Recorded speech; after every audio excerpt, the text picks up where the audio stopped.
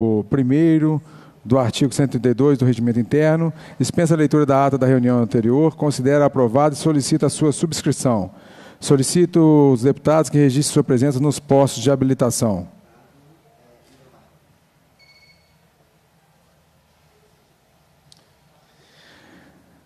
Esta reunião se destina a receber, discutir e votar proposições da comissão. A presidência informa o recebimento de e-mails da senhora Maria Cristina Demetri Alexandris e Geralda Silva de Belo Horizonte, solicitando que essa comissão se posicione a favor da proibição de testes em animais para produtos de limpeza, higiene e cosméticos, recebida através do Fale com as Comissões. E da, e da seguinte correspondência publicada no Diário Legislativo das datas seguintes. 5 de 10 de 2017, do senhor José Sota de Figueiredo Neto, secretário de Governo Juiz de Fora, prestando as informações relativas aos requerimentos números 6.205 de 2016.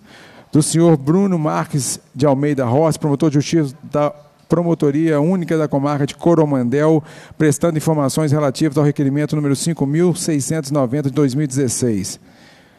Dia 17 de 11 de 2017, da senhora Adriana Branco Cerqueira, secretária de Assuntos Institucionais e Comunicação Social de Belo Horizonte, prestando informações relativas ao requerimento número 5.695 de 2016. 15 de 12 de 2017, da senhora Paula Maria Nasser Curi, subsecretária de Assessoria Técnica Legislativa da Secretaria de Casa Civil, prestando informações relativas ao requerimento número 6.253 de 2016. 16 de 12 de 2017, da senhora Cláudia Maria Inês, promotora de justiça da primeira promotoria de justiça, prestando informações relativas ao requerimento número 5.688. E da senhora Paula Maria Nasser Cury, prestando informações sobre o requerimento número 5.693. Dia 30 de 12 de 2017, a senhora Thais Lamin Leal, prestando informações referentes ao requerimento 7.380 de 2017. Também do senhor José Sota de Figueiredo Neto, secretário municipal de governo, de Fora, prestando informações relativas ao requerimento 6.200 de 2016. Eu passo só para aos nobres deputados é, o recebimento do e-mail da senhora Maria Cristina Demetres Alexandris e Geraldo da Silva, solicitando que a gente se manifeste e se posicione relacionado à proibição de testes em animais para produtos de cosméticos, higiene pessoal e limpeza. Quero só dizer para a senhora Maria Cristina e Geraldo da Silva que estes deputados que aqui se encontram na comissão, todos eles votaram é, a favor da lei, da referida lei, e o veto será discutido nos próximos dias no plenário. Né? A proibição do, da utilização de animais em testes para esses produtos. Só refletindo que eu, nós ficamos abismados, vereador, o deputado Tadeu, deputado Duarte, porque em Minas nós não temos impacto. Além de, além de ser uma tendência mundial, e nós já, e hoje, dezenas de estados é, com essa lei já aprovada, não trazendo impacto financeiro nenhum, em Minas Gerais não foi detectado nenhuma empresa que seria prejudicada com determinada lei. E mesmo assim houve o veto. E nós entendemos que o veto será derrubado na, na reunião da na reunião que nós dis, iremos discutir esse veto. Como foi aprovado por unanimidade, acreditamos também que será é, derrubado o veto por unanimidade. Eu quero aproveitar e chamar a atenção dos novos deputados. É, eu tenho certeza que eu tenho apoio, como sempre tive, essa comissão sempre teve o apoio do deputado Tadeu Leite e do deputado Duarte Bexir. Nós estamos vivenciando uma situação muito complexa. É, volto a dizer, o movimento dos caminhoneiros é, são movimentos válidos, necessários, ninguém está suportando mais a nossa carga tributária. As empresas de transporte estão paralisando suas atividades devido à dificuldade é, de se manter no, com combustível nesse preço. Então, nós não estamos discutindo aqui a legalidade e a, a justiça que é a realização dessas greves e dessas manifestações. O que eu quero solicitar, é, e o requerimento vai ser aprovado aqui, vai ser colocado para aprovação, deputado Tadeu Leite, deputado Duarte Bexir, é para que a Polícia Rodoviária Federal informe aos coordenadores dessas manifestações em todos os, loca os locais para uh, se atentarem para as cargas vivas. Nós temos notícias hoje de vários locais aonde existem cargas vivas sendo transportadas que estão há 50 horas sem alimentação e sem água. Nós não podemos permitir que essa manifestação, volto a dizer, legítima, possa prejudicar quem não tem nada a ver com isso.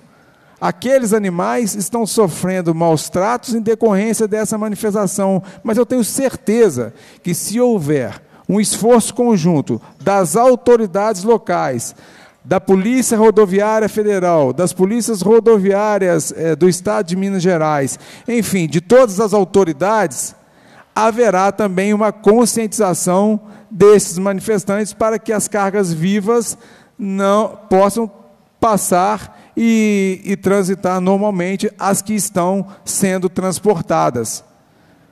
Nós não podemos permitir que esses animais continuem sofrendo. Volto a dizer, já passam de 50 horas que tem animais que estão sem alimentação e sem água. Nos locais aonde a nossa comissão conseguiu chegar até as autoridades, aonde nós conseguimos chegar, e vou, vou dar um exemplo, terça-feira em Juiz de Fora, eu, nós conseguimos chegar nos responsáveis pela manifestação e explicar que, nós, que, tinha, que tinha carga viva é, ao longo do trecho e não precisou nem de acionar as autoridades policiais, não. Os próprios manifestantes entenderam a complexidade, se compadeceram com a realidade e autorizaram de imediato a passagem desse, desse veículo que estava com carga viva. Então, eu chamo a atenção para, até para quem transporta carga viva também, para, antes de fazer o transporte, verificar as condições da, da das vias, como, como que como que está a manifestação, para que também evite é, o transporte das cargas vivas. Agora, volto a dizer, está é, tá tendo um apoio, mas é necessário uma divulgação. Então, nós estamos aprovando um requerimento aqui, pedindo para que a Assembleia Legislativa comunique é, e solicite de imediato às autoridades é, rodoviárias, tanto a nível estadual quanto a federal, para que é, faça uma, um diálogo com esses manifestantes e verifique se há cargas vivas é, nesses comboios dessas manifestações para evitar este grande sofrimento, volto a dizer, de quem não tem nada a ver com isso, que são os animais. É, deputado, acho que é usada. Não, é, é para dar a Vossa Excelência o devido apoio é uma pauta muito importante. Você tem aí, deputado Tadeu, é, os animais sendo transportados e se onde estão havendo as paralisações justas, se eles ficarem ali também estarão sofrendo maus tratos, inclusive é, com possibilidade até de virem a, a óbito esses animais em decorrência de estarem sem água e sem alimento, em pé o tempo inteiro, ali praticamente amordaçados dentro dos caminhões que, que viajam, e são viagens já com percurso pré-determinado. Eu valorizo a ação de Vossa Excelência, parabenizo mais uma vez, muito importante comunicar às autoridades de que, havendo carga viva, que se facilite imediatamente a liberação para que não haja sofrimento para os animais. Parabéns.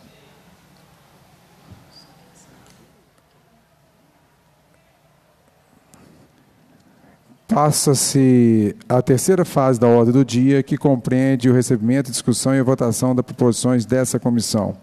Quero mais uma vez enfatizar aqui o apoio irrestrito que sempre o deputado Duarte Bexir deputado Tadeu Leite deu a essa comissão e hoje os dois também estão assinando esse, esse importante requerimento que eu tenho certeza que vai amenizar o sofrimento de centenas ou milhares de animais ao longo dessas manifestações.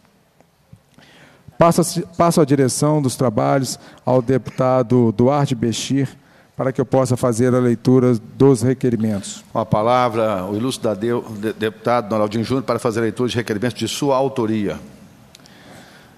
Requerimento de autoria deputado Noraldino Júnior, deputado Tadeu Leite e também deputado Duarte Bexir. Os deputados que subscrevem requer, requer a Vossa Excelência, nos termos do artigo 103, e seja encaminhado ao Departamento de Polícia Rodoviária Federal e ao Departamento de Polícia Rodoviária do Estado a liberação imediata dos veículos com cargas vivas que estão em possibilidade de, locomo de locomoção devido à paralisação geral dos caminhoneiros nas rodovias do Estado.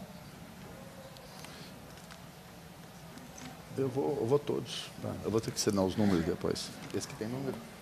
O deputado que subscreve requer que seja encaminhado ao promotor da primeira Promotoria de Justiça em patrocínio pedido de informações sobre o inquérito que foi instaurado pela Promotoria de Justiça e Defesa do Meio Ambiente e Patrocínio para apurar supostas irregularidades no canil municipal e ausência de políticas públicas para controlar a população de cães e gatos da cidade, especificando qual foi o desfecho das investigações e quais foram as medidas que foram impostas à Prefeitura de Patrocínio para que os problemas relacionados à proteção, identificação e controle populacional de cães e gatos sejam resolvidos. Outro requerimento o deputado que subscreve requer que seja encaminhada a Coordenadoria Regional das Promotorias de Justiça de Meio Ambiente da Bacia do Alto São Francisco, em Divinópolis, pedido de providência para que se apresente denúncia criminal contra a Prefeitura e funcionários da Prefeitura de Divinópolis que foram responsáveis pelo extermínio de cães que foram recolhidos das ruas da cidade. Os animais foram mortos no mês de março sob a alegação de serem portadoras de leishmaniose visceral canina. O deputado que subscreve requer que seja encaminhado à segunda Promotoria de Justiça da comarca de Iturama pedido de providências para que seja verificado o cumprimento da Lei Estadual número 21.970 no município, especialmente no que tange à situação dos animais que estão abrigados no canil municipal, conforme informações representadas pela APRAI, Associação de Protetores dos Animais de Iturama e região. O deputado que subscreve requer que seja realizada audiência pública da Comissão Extraordinária de Proteção dos Animais para debater o posicionamento adotado pelo CRMV Minas Gerais quanto aos procedimentos de esterilização cirúrgica de cães e gatos realizados pelo controle pelo Centro de Controle de Zoonoses da Prefeitura Municipal de Juiz de Fora, de Belo Horizonte e outras cidades. Lidos os requerimentos, senhor presidente, só fazer uma justificativa de um requerimento aqui sobre a cidade de Divinópolis. Na verdade, foram houveram diversas denúncias que é, de extermínio de animais na cidade e a alegação que esses, esses animais estariam sendo exterminados e sendo eutanasiados, que não é eutanásia, é extermínio, devido à leishmaniose. Houve uma denúncia ao Ministério Público e, através dessa denúncia, o promotor, doutor Leandro, sabiamente fez um levantamento e uma perícia técnica em todos esses animais. E foram detectados e comprovados que esses animais não tinham leishmaniose. E foram mesmo assim exterminados pelo poder público. Com isso, nós estamos pedindo ah, tá. providências para que os responsáveis por esse tá. extermínio, que, volto a dizer, tem acontecido em várias cidades, animais têm sido exterminados sobre a alegação, alegação e que esses animais estariam com leishmaniose e que na realidade não é não, além de nós discutirmos aí a legalidade da dita eutanásia é, com relação à leishmaniose, que não resolve o problema da cidade, já comprovado e comprovado por inúmeras teses científicas, ainda há esse extermínio por parte da cidade. Então, eu solicito essa aprovação para que os responsáveis sejam punidos de acordo com a legislação atual. Ok. Em votação, os requerimentos 11.805, 11.906, 12.009 e 12.0010 e ainda o requerimento sem número que trata da solicitação do pedido de urgência para a liberação imediata dos veículos com cargas vivas às autoridades competentes no Estado de Minas Gerais. Em votação, cada um por sua vez. Os senhores deputados que aprovam permaneçam como se encontram, estão aprovados os respectivos requerimentos. Antes de devolver a palavra para Vossa Excelência, eu queria bem rápido, deputado Tadeu, é, dizer que neste momento em que nós passamos por uma crise, o transporte todo paralisado, né, e falta de abastecimento, tanto de alimentação como de combustível, nós achamos que a, essa manifestação, esse movimento, ele é muito é, tem todo o direito de fazê-lo, ele é muito claro. Aqueles que estão promovendo têm todo o direito e reconhecimento nosso e o nosso apoio. Mas o que eu fico preocupado é de algumas pessoas da classe política tirarem um proveito desses movimentos. Como que eu aproveito? E dizer que, por exemplo, olha, aqui em Minas Gerais teve aumento de diesel. É uma mentira. Não teve aumento de diesel em Minas Gerais. E se alguém provar que o diesel foi aumentado em Minas Gerais, nesse mandato e nesse governo, é uma grande mentira. A questão do, do álcool em Minas Gerais, houve um aumento de 29 para 31 do combustível do, da gasolina, que representou 0,08 centavo por litro e 0,04 centavo por litro de álcool em Minas Gerais. Então, tem muita gente tirando proveito e fazendo é, manifestações de apoio dizendo que em Minas Gerais tem grupo de políticos que são contrários, que estão prejudicando. Então, eu acho que a política não pode ser de oportunismo. Os políticos têm que fazer o para casa, que é trabalhar, como Vossa Excelência trabalha por uma causa. O deputado Tadeu o faz com muita grandeza em toda a região norte, espalhando de Montes Claros para toda aquela região. E eu também, na medida do possível, tenho feito um trabalho com muito denodo, muita alegria aqui na defesa das pessoas com deficiência. Mas é bom que a população fique atenta para enxergar os oportunistas de plantão, que não trabalham, ficam esperando uma oportunidade de mostrarem possíveis, até mesmo acusações infundadas de outro, quando perdem a oportunidade de falarem de si próprio. Como não tem para falar de si, ficam aí nas redes sociais criando caminhos para dificultar o trabalho de outros. Pelo contrário, eu tenho alegria de falar o que eu fiz, o que eu faço por Minas Gerais. Muito obrigado e devolvo a presidência a Vossa Excelência. Eu agradeço todo o apoio e volto a manifestar o reconhecimento deste parlamentar com os mandatos do deputado Tadeu Leite e do deputado Duarte Bexir em relação à defesa e proteção dos animais. São deputados que, em momento algum, se manifestaram contrário a qualquer legislação que viesse a prejudicar os animais. Então, fica aqui esse reconhecimento, deputado Eduardo Bexir.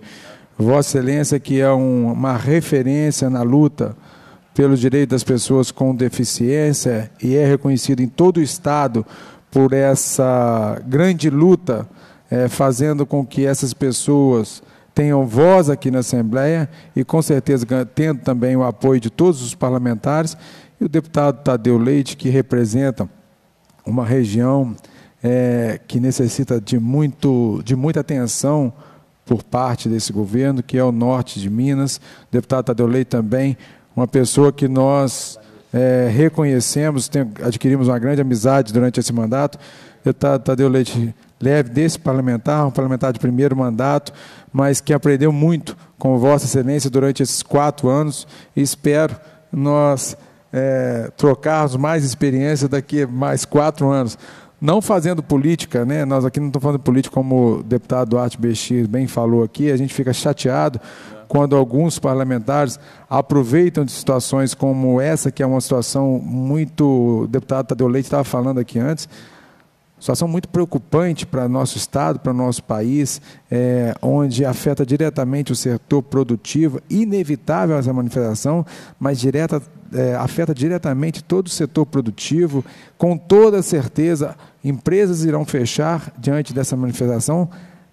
Volto a dizer, legítima, porque não há condições de continuar, é, dos caminhoneiros continuarem, em quem trabalha com transporte, continuar com o combustível da forma como foi está sendo colocado. Mas o deputado Arthur Pestis bem lembrou aqui que em Minas Gerais não houve nenhum aumento do, do diesel, o que está sendo utilizado por algumas pessoas para ter benefício político.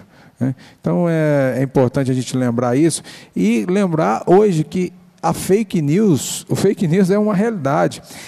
É, a gente trabalha com uma investigação de dados com relação nessa comissão, o nosso gabinete trabalha com investigação de dados. Quando a gente recebe uma denúncia, primeiro a gente, nós nos preocupamos de verificar a veracidade dessa denúncia, que quando você recebe uma denúncia, e às vezes tamanha gravidade daquela denúncia, você vai logo se manifestar, e é a ansiedade de todo cidadão. Por exemplo, é, nós recebemos uma denúncia semana passada de animais que estavam sendo, de cães que estavam sendo recolhidos e utilizados para abastecimento de churrasquinhos, de carne para é, realização de churrasquinhos. É um, e as imagens são imagens gritantes, mas nós verificamos são montagens que foram feitas para sensibilizar a, a população. E isso não vai ser diferente nessa política na política desse ano, uma vez que nós temos ferramentas que não existem como controlar. Se falar do Facebook, hoje existe uma rigidez maior no Facebook, mesmo diante da, é, até diante os, os últimos acontecimentos envolvendo essa mídia social, o Instagram. Agora, o WhatsApp ainda é uma ferramenta de disseminação em massa de fake news. Yeah. É. Serão utilizados nomes de deputados colocando o nome de deputados, votando o que o deputado não votou, colocando posicionamento de deputado que não teve esse posicionamento, principalmente naquelas cidades, e com um, um fator que é preocupante, com uma, um baixo índice de. É, de possibilidades de rastreamento da origem desses dados. Então, é necessário, acho que essa casa tem aí, o deputado Eduardo Bestiço, Vossa Excelência lembrou bem, tem que se manifestar e para que a população, até fazer uma campanha institucional, eu acho que a gente pode propor isso para o presidente, para que nós possamos fazer uma campanha institucional para que as pessoas não acreditem em, na, nas, de primeira, né, nas primeiras informações que são recebidas, porque o WhatsApp ele não tem como, nós não temos como detectar a origem a ponto de sanar o dano causado por essas informações. Isso.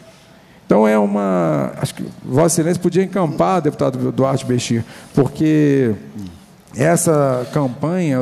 Deixa eu só interromper, Vossa Excelência, deputado Tadeu vai lembrar o governo mandou para cá um projeto de lei aumentando o IPVA. De qual tipo de veículo? Dos veículos a diesel de luxo que pagavam a metade dos carros. Quem tem caminhonetes a diesel, essas caminhonetes bonitas, vão pagar como paga o carro. Nenhuma outra alíquota foi aumentada. Passou de 2 para 4, como os carros pagam 4%. Foi o único. Então, os oportunistas que ficam, talvez não tenham tempo de trabalhar, e ficam achando um caminho, ao invés de trabalhar, denegrir. Fala, os deputados aumentaram o IPVA, mas não fala qual, como e onde. Aumentou o IPVA? Sim. Dobrou. De quem? De carros a óleo, picapes a diesel, que pagavam dois, passou para quatro. Este foi o único IPVA votado na Assembleia nessa legislatura, o único IPVA, de dois para quatro, de picape a diesel. Agora, quem pagava dois a metade do carro e vai pagar quatro, está sendo feita justiça.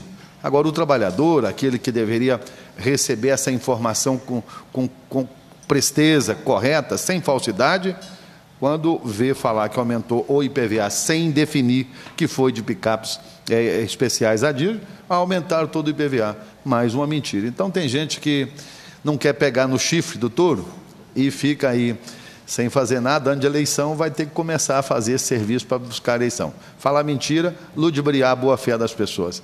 Eu não entro nessa e vou continuar trabalhando. Inclusive, hoje, às 16 horas, temos uma audiência na Comissão de Defesa dos Direitos da Pessoa com Deficiência. Nós vamos estar discutindo hoje a possível instalação do SEJUSC, que é um centro é, de judicialização de conflitos e cidadania, onde as pessoas com deficiência, tendo uma determinada ação contra o Estado, contra o município, para requerer um tratamento, um medicamento, vai ter a sua implantação na Assembleia. Aqui vai ter o Sejusc. Hoje só é implantado nos municípios, na sede de comarcas. E nós estamos estudando a implantação aqui e deu origem esse debate na semana de discussão sobre a questão do autismo de conscientização. Um dos dias da semana nós discutimos aqui a questão da judicialização. Até quando uma família de um deficiente pode esperar a justiça se manifestar em decorrência de um medicamento ou de um tratamento que aquela criança precisa. Às vezes, um ano, dois anos, a criança ou jovem vem a falecer, como aconteceu com a presidente do Movimento Mineiro de Doenças Raras. Ela tomava um medicamento mensal, aquele medicamento faltou, ela entrou na justiça. Quando a justiça foi dar a sentença, obrigando o Estado, que não era dele, era da União, a dar o medicamento enquanto a União não oferecesse, ela veio a falecer.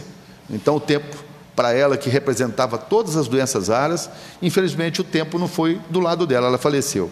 Então, para que essa situação e outras pessoas com deficiência que demandem com a justiça e precisam de uma resposta imediata, hoje às 16 horas estaremos discutindo aqui a, possível instalação do Sejusc, que só existe nas comarcas, na sede dos fóruns, o único fora desse ambiente seria o da Assembleia.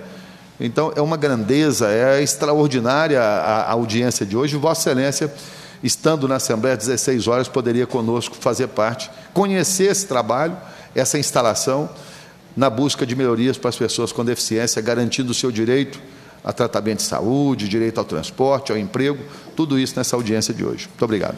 Mais uma vez, deputado Duarte Bexir, parabenizo pela pelas palavras, pela dedicação a esse tema que é de extrema importância. E me surgiu aqui uma ideia, deputado Duarte é. Bestir.